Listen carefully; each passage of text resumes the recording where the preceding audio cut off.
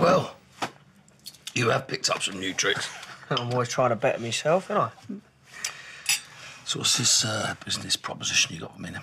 Uh, well, uh, first things first. Lola, want to help me clean up? Thanks. Not an alcoholic. Don't worry, I ain't trying to kill you. Not yet, anyway.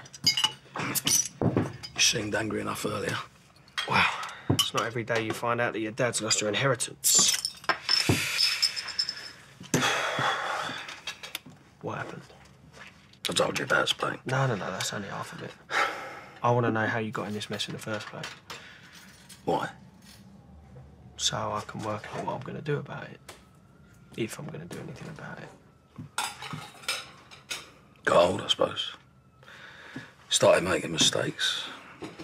Each mistake I got more desperate and in the end it was too late.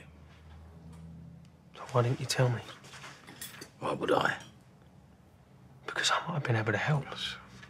I thought I could handle it, you know. Plus I had Keanu. It's all gone, Ben. And I'm hanging by a